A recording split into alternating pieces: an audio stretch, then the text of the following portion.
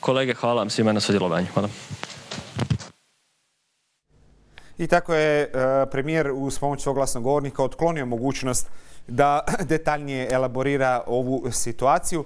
O, mailovima guvernera Vujčića razgovaramo i sa mojim sljedećim gostom, to je nagrađivani novinar Indeksa Ilko Čimić. Ilko, dobrodošao u Newsroom.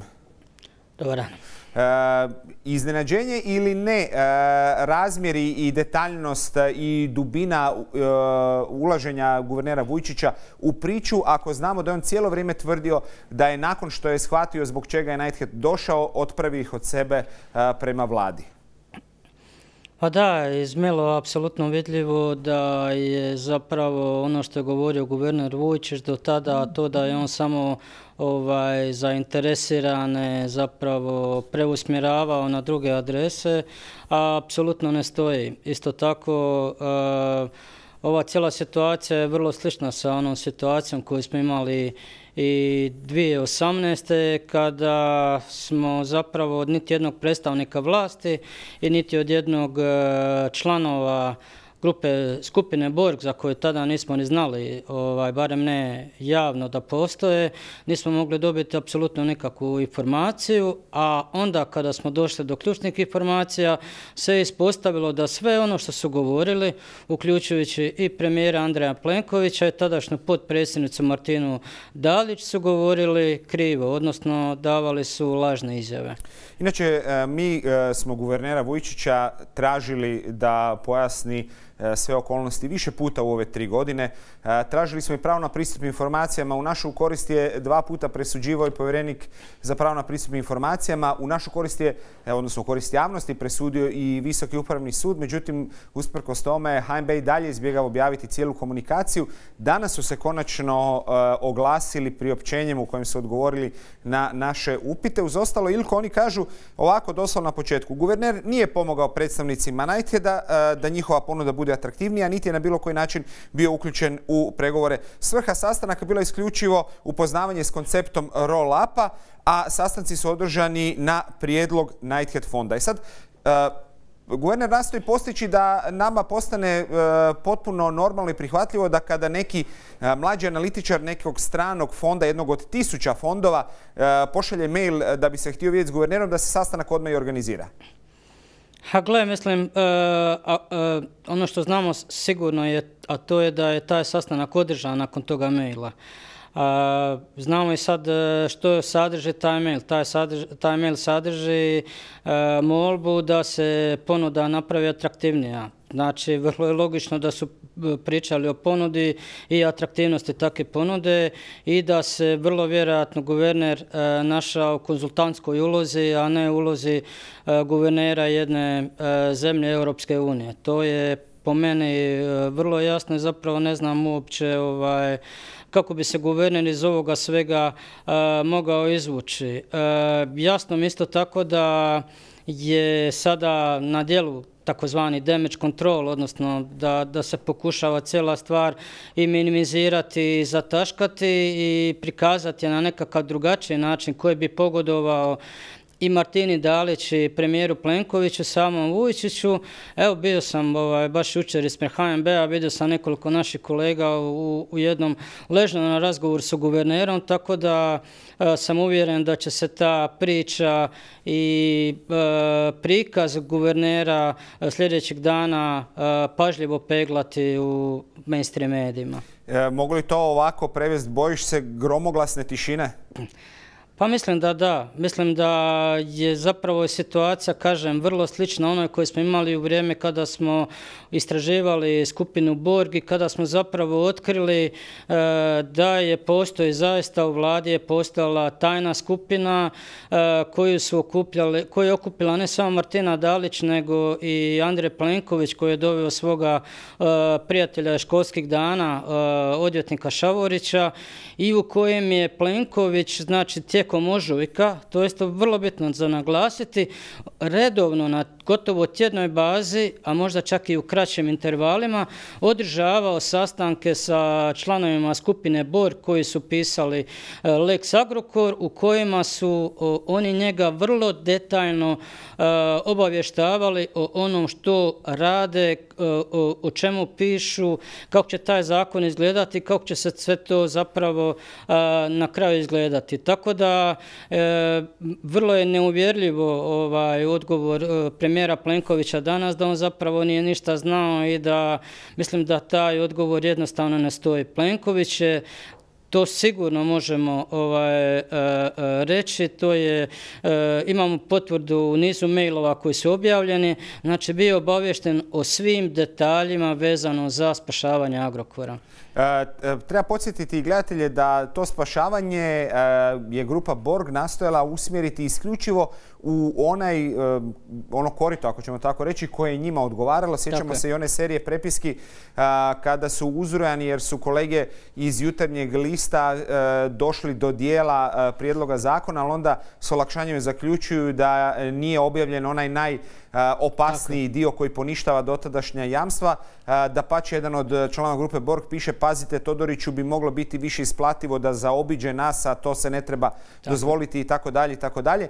Moramo se opet vratiti i na roll-up kredit. Naime, u ovom priopćenju koje se nalazi na našim web stranicama, guverner ponovno podcrtava da je razlog sastanka bilo upoznavanje s konceptom roll-up kredita. Guverner nije imao problema čak ni za našu televiziju izjaviti kako nije znao što je to roll-up dok se nije susreo s Nightheadom. Čuli smo malo prije gospodina Fižulića, koncept koji je itekako išao na ruku Nightheadu je napumpavanje tog roll-upa daleko iznad E, realnih potreba kako bi se na taj način istislo druge zainteresirane strane. Ono što je vrlo, vrlo bitno naglasiti, a to je možda što gledatelji mislim da možda čak i nisu dovoljno dobro upoznati, a to je ta kada mi pričamo o roll-upu. To je jedan sistem koji se dogodio samo tad. Taj roll-up u Hrvatskoj nismo vidjeli ni prije ni poslije toga.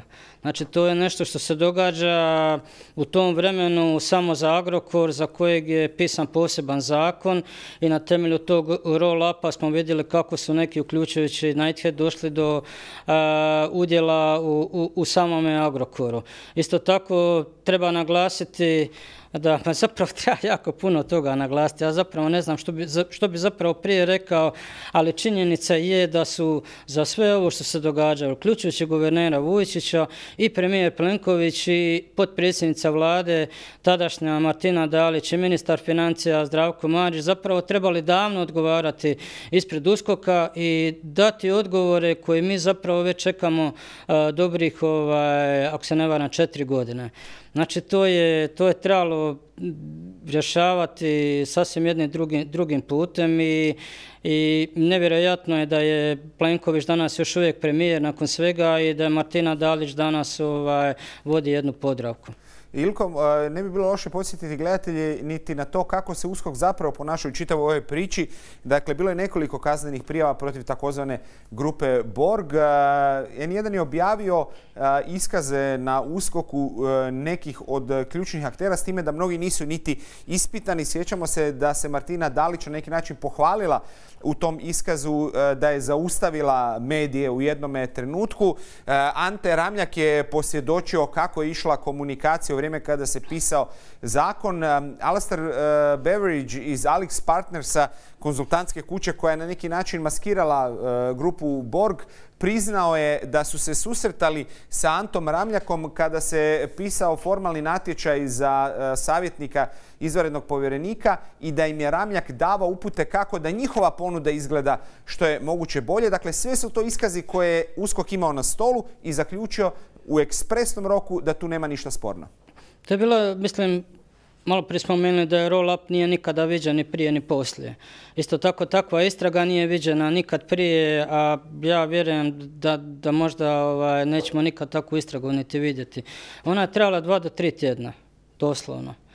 i od brdo materijala, ja ne znam, mislim, dva do tri tjedna jednom dobrom odvjetniku je voda trebalo samo da iščita sve one mailove i sve ono što je zapravo izlazilo u medijima tih dana, kamoli da u tri tjedna zaključi cijelu istragu e, sa zaključkom da zapravo ne postoji nikakav krimen e, ni, ni od strane e, premijera, potpredsjednice, ministara, niti bilo koga i Ante Ramljak koji je tada bio ovaj, povjerenik u Agrokoru. To, je jednostavno ne, nevjerojatno, nevjerojatna lakoća, nevjerojatna bahatost, nevjerojatna drskost. Mi ćemo e, još jednom pogledati, e, Ilko, zamolit ću vas da zajedno to prokomentiramo, e, ova tri, čini mi se, ključna maila, iako ih je očito bilo i mnogo više. Inzistira guverner Vujčić na tome da nema ništa sporno, on je to rekao u izjavi za našu televiziju još te 2018. da se njemu javio njegov kontakt iz Londona, nakon kojeg je on primio e, e, čovjeka koji dolazi iz jednog fonda rizičnog kapitala, to e, nije loše intenzivno naglasiti. Dakle, nije riječ o nekom fondu koji konzervativno ulaže sredstva britanskih umirovljenika, nije riječ o nekoj etabliranoj instituciji, riječ je o igračima koji ulaze kada se dogodi kaos i pokušavaju spekulativno odraditi. To, to zapravo je riječ o strvinarskim fondovima koji zapravo imaju ta špekulativna ulaganja prema tvrtkama koje su u velikim financijskim problemama. To su, mislim, oni se s razlogom zove ovaj, strvinarski fondovi, odnosno lešinarski fondovi, tako je. Još jednu stvar, e, kad promatram ove mailove, upravo recimo na ovome mailu kad e, Pjaconka kaže e, Vujčiću da su se vidjeli sa Antom, koji u tom trenutku još nije formalno ništa, odnosno je član tajne skupine koja piše zakon, da su imali konstruktivni razgovor, da bi se trebali ponovno naći, odgovara odmah Vujčić sutra u 10 ujutro, ako vam odgovara potpuni izostanak svijesti o tome da, e, čini mi se da kao guverner, kao dužnosnik e, državni, e, morate paziti na svoju neutralnost. U krajnjoj liniji neutralnost prema brojnim ostalim akterima koji su i tekako zainteresirani za razvoj ove priče. Guverner Vujčić nudi različita opravdanja za svoje druženje sa Nightheadom, ali u tim opravdanjima nijednom recimo nije napisao ja sam se vidio sa svim bankarima koji su bili izloženi prema Agrokoru ili ja sam se vidio sa svim dobavljačima ili ja sam digao slušalicu svakom dobavljaču koji me zvao. Pa da, mislim, važno je naglasiti da u tom vremenu e, hrvatska javnost, e, niti netko koji je sa izraznitim zanimanjem pratio slučaj Agrokor jer je njegova sudbina bila vezana uz sudbinu Agrokora, nije znao ko je Ante Ramljak. Mi nismo znali ko je Ante Ramljak. E, Ante Ramljak se tek ovaj, u javnosti počinje, znači tu negdje sredin, znači prije 10. travnja je donesen zakon, Ramljak se počeo spominjati par dana prije. U korespondenciji nije gospodin Ramljak, nego je Ante. Što je nevjerojatno. Mislim, u, to vrijeme mi ne znamo ko je Ante Ramljak, za njih je Ante Ramljak Ante. Nevjerojatno prilično, kao i što je interesantno da mlađi e, e, analitičar očekuje da se guverner prilagodi njegovom rasporedu. Inače, ne bi bilo loše sjetiti se i da je Ante Ramljak e, kada se počelo otkrivati da je i tekako imao toksične odnose u kontekstu neutralnosti koja je potrebna u ovako delikatnoj situaciji, objašnjavao da je on jedan od nekoliko ljudi kojima se treba javiti kada se sleti u Zagreb. Interesantan, interesantno prezentiranje vlastite uspješnosti, pogotovo kad čini mi se realnost ga je i tekako demantirala. Zapravo se i tu vidi da je to bila jedna, uh, jedna organizirana skupina koja definitivno imala zeleno svjetlo od uh, premijera Plenkovića, jer sjetimo se da je Ramljak u to vrijeme, opet kažem, mi ne znamo od koje je Ante Ramljak, je slao pravnim stručnjacima prijedloge zakona, Lex Agrokora, u kojem ih pita da li, da, li da li je taj zakon dobar, da li će proći, da li taj zakon stoji i znajući u tom vremenu da je upravo on taj koji će biti glavni u tom zakonu, odnosno da će on biti vladni povjerenik. To se sve, e, jedna cijela ta akcija, uključujući guvernera Vujčića, ovaj, definitivno nije bila bez znanja e, samoga vrha države. Ja ću isto tako podsjetiti da je e, guverner Vujčić koji se u početku, kada se razvijala afera Hotmail, zapravo je nije bio u prvom planu. Znači, u prvom planu su bili Martina Dalić, Plenković i ostatak ekipe iz vlade.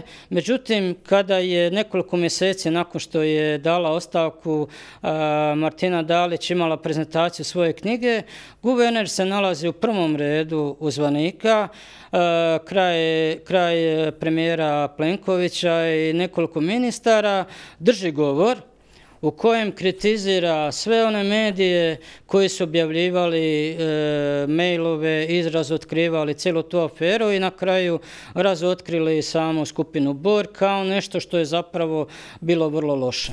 Interesantno je podsjetiti kojom argumentacijom je guverner Vujčić branio svoj stav da ne želi pokazati ove mailove pred povjerenikom za informiranje, odnosno e, na Visokom upravnom sudu. Oni su inzistirali da će e, štetiti imidžu Hrvatske narodne banke ako se pokaže da njihova korespondencija može dospjeti u javnost. Drugim riječima, očito meni se tako čini da e, guverner ne misli da će štetiti njegovom imidžu, imidžu HNB-a to da on dolazi na sastanak na koji je pozvan kako bi se raspravila ponuda i učinila se atraktivnijom, nego smatra da će imidžu naštetiti to što će ovaj mail kao takav izaći u javnost. E, u svojoj presudi Visoki upravni sud je međutim naglasio eksplicitno, citiram, da je e, ključni interes javnosti da se rasvijetli je li netko bio u povlaštenom položaju u ovoj priči.